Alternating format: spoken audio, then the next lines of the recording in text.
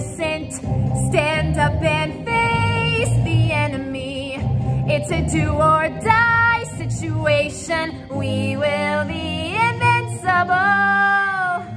And with the power of conviction, there is no sacrifice. It's a do or die.